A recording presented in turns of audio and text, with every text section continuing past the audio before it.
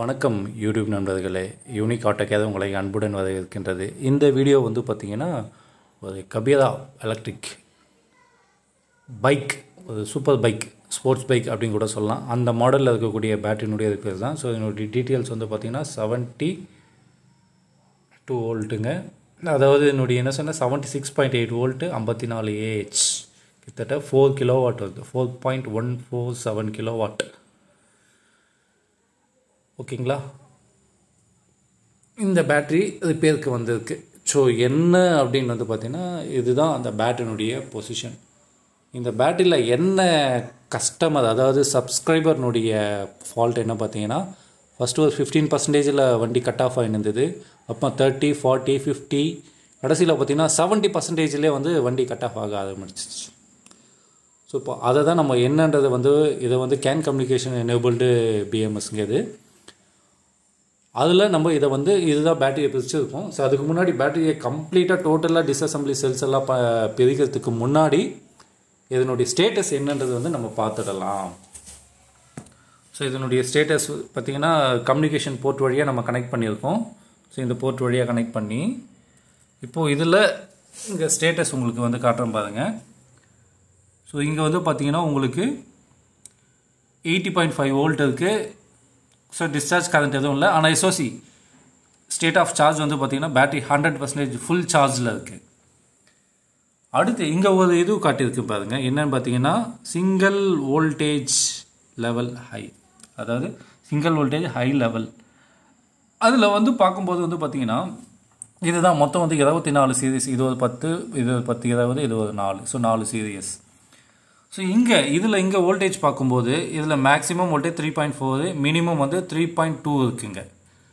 ஓகேங்களா?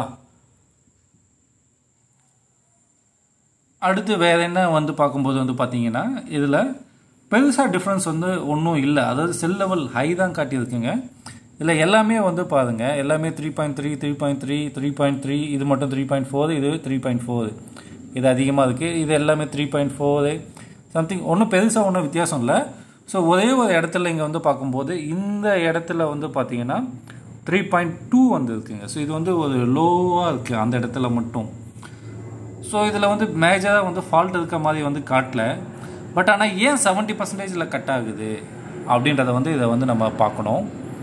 Disturbance sorry aeroplane noise maybe வரலான்னு நினைக்கிறேன். இங்கே மேலே போகுது.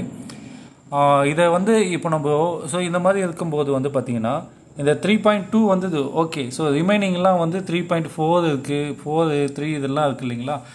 ஸோ இதனுடைய ரியல் கெப்பாசிட்டியை வந்து நம்ம கண்டுபிடிக்கணும். ஸோ இந்த குரூப்பை மட்டும் நம்ம மாற்றிட்டோம் அப்படின்னா ஸோ இந்த ப்ராப்ளம் சால்வ் ஆகுமா அப்படின்னு பார்த்தீங்கன்னா ஆகாது. ஏன் அப்படின்னு வந்து பார்த்தீங்கன்னா ஸோ இதில் ஒவ்வொரு குரூப்ஸாக வந்து செஞ்சுருப்பாங்க. அதாவது ஒவ்வொரு பல செல்கள் செஞ்சது தான் ஓகேங்களா? அந்த இருபத்தி நாலு சீரியஸ் குரூப்ஸையும் நம்ம இண்டிவிஜுவலாக டெஸ்ட் பண்ணோம் டெஸ்ட் பண்ணால் தான் இந்த பேட்ரிக்கு உண்டான ரியல் ஸ்டேட் வந்து ஏன் இதில் வந்து இவ்வளோ குயிக்காக கட் ஆகுது அப்படின்றது தெரியும். ஸோ நம்ம இங்கே சிஸ்டத்தில் காட்டுற மாதிரி ஸோ நம்ம இதை மட்டும் நம்ம ரெக்டிஃபை பண்ணியோ இல்லை இதை மட்டும் நம்ம பேலன்ஸ் பண்ணியோ நம்ம கொடுத்துட்டோம் அப்படின்னா அது கண்டிப்பாக இஷ்யூஸை ரைஸ் பண்ணோம். திருப்பி இஷ்யூஸ் அடுத்து மேபி இந்த இதில் எதனா ஒன்று வீக்காக இருக்கலாம். ஓகேங்களா? ஸோ இப்போ அதுக்கு என்ன பண்ணணும் பார்த்தீங்கன்னா இண்டிவிஜுவல் குரூப்லேயும் நீங்கள் வந்து டிஸ்சார்ஜ் பண்ணணும். ஸோ அதை டிஸ்சார்ஜ் பண்ணி டெஸ்டிங் மிஷினில் போட்டு டிஸ்சார்ஜ் பண்ணாதான் ஸோ ரிமைனிங் வந்து ஃபால்ட்டு இருக்கா இல்லையான்றது கண்டுபிடிக்கலாம். ஸோ அப்போது அந்த மாதிரி டெஸ்ட் பண்ண பிறகு இந்த குரூப் தான் ஃபால்ட்டு இதுதான் ஃபால்ட்டு அப்படின்னா அப்போது இதை நம்ம மாற்றிடலாம் அதாவது இது இல்லாமல் மற்றது எதுவும் ஃபால்ட் இல்லை அப்படின்னா அப்போ தாராளமாக நம்ம இதை மாற்றோம்னா அந்த பேட்டரி வந்து உங்களுக்கு ரீகெயின் அதாவது உங்களுக்கு அந்த lower cut off voltage problem வந்து உங்களுக்கு இருக்காது. ஸோ இதுக்கு வந்து பார்த்திங்கன்னா டெஸ்டிங்க்கு இந்த பேக்கை வந்து டெஸ்ட் பண்ணுறதுக்கு அதாவது அந்த இண்டிவிஜுவல் குரூப்ஸை டெஸ்ட் பண்ணுறதுக்கு சப்ஸ்கிரைபர்கிட்ட அப்ரூவ்டு வாங்கணும். ஸோ அது ஓகேன்னு சொன்ன பிறகு தான் நம்ம வந்து பார்த்திங்கன்னா டெஸ்டிங்கை ஸ்டார்ட் பண்ணோம் ஏன்னா டெஸ்டிங்கிறது வந்து ரொம்ப பெரிய ப்ராசஸ்ங்க ஸோ ப்ராசஸ் மீன்ஸ் அதாவது ரொம்ப டைம் எடுக்கக்கூடிய ஒன்று ஓவராலாக டெஸ்ட் பண்ணுறது ஒரு மெத்தட் வேறு. ஸோ இண்டிவிஜுவலாக டெஸ்ட் பண்ணுறது ரொம்ப ரொம்ப டைம் எடுக்கும். ஸோ அந்த டைமுக்கு ஸோ அவர்கிட்ட வந்து அந்த டைம்லாம் வந்து கேட்டுட்டு அவர்கிட்ட அப்ரூவ்டு வாங்கிட்டு அதுக்கப்புறமா இதை டெஸ்ட் பண்ணோம் அப்படின்னா அதனுடைய ரியல் ஸ்டேட்டஸ் தெரியும். நீங்களும் அதே தான். ஸோ உங்களுடைய பேட்டரி நீங்கள் ரெடி பண்ணுறதுக்கு கொடுத்தீங்க அப்படின்னா அதை ஃபஸ்ட்டு வந்து இந்த மாதிரி எல்லா குரூப்ஸும் டெஸ்ட் பண்ணால் தான் அதில் என்ன ஃபால்ட் இருக்குதுன்னு தெரியும். அதுக்கப்புறமா தான் பேட்டரியை என்ன எவ்வளோ சேல்ஸ் போயிருக்குன்னு தெரியும். அதுக்கப்புறமா தான் பேட்டரியை சர்வீஸே பண்ண முடியும். ஓகேங்களா? ஸோ பேட்ரி ரிப்பேர் சர்வீஸ் எதை வேணால் சொல்லலாம். ஆனால் ஃபஸ்ட்டு நமக்கு தேவை டெஸ்டிங் டெஸ்டிங்க்கு அடுத்து எஸ்டிமேஷன் எஸ்டிமேஷனுக்கு அடுத்து அதாவது என்னென்னா டெஸ்ட் பண்ணி முடித்த பிறகு எவ்வளோ டேமேஜ் இருக்குது எவ்வளோ மாற்ற வேண்டியது இருக்குன்றது வந்து அதுக்கு அடுத்து தான் தெரியும். உதாரணம் வந்து பார்த்திங்கன்னா அப்போ டெஸ்ட் பண்ண பிறகு இதில் பாதி செல்லு மாற்றிட்டு மாற்றணும் அப்படின்னா அதுக்கு அந்த பேக் ரெடி பண்ணுறதே வேஸ்ட் எக்ஸாம்பிளுக்கு சொல்கிறாங்க ஸோ அப்போ நம்ம அதை டெஸ்ட் பண்ணால் மட்டும்தான் தெரியுங்க. ஸோ நிறைய பேர் என்ன பண்ணாங்கன்னா அந்த மல்டிமீட்டர் வச்சு எங்கே வோல்டேஜ் லோ இருக்குது அதை மாற்றி கொடுத்துருந்தாங்க திருப்பி ப்ராப்ளம் வருதுன்னு மறுபடியும் பேட்டரியை மறுபடியும் பிரிக்க வேண்டியது இருக்கும். சும்மா சும்மா பேட்டரி பிரிச்சிங்கன்னா உங்களுக்கு வந்து பார்த்திங்கன்னா உங்களுக்கு அந்த ஈவி மேலே இருக்கக்கூடிய ஒரு ஃபிக்ஷனே வந்து உங்களுக்கு வந்து போயிடுங்க. ஸோ அதனால் வந்து பார்த்திங்கன்னா ஸோ டெஸ்டிங் எஸ்டிமேஷன் அடுத்து ரிப்பேருக்கு சார்ஜஸ் ஸோ இது மூணுமே வந்து பார்த்திங்கன்னா ஒரு பேட்டரி ரெடி பண்ணனா இதுதான் வந்து ஒரு ஸ்டாண்டர்ட் ஆப்ரேட்டிங் ப்ரொசீஜர் எஸ்ஓபி அப்படின்னு சொல்லுவாங்க. ஸோ இது பண்ணால் மட்டும்தான் அந்த பேட்டரியை உங்களால் கரெக்டாக எக்ஸாக்டாக ஃபால்ட்டை இல்லாமல் ரெடி பண்ண முடியும்.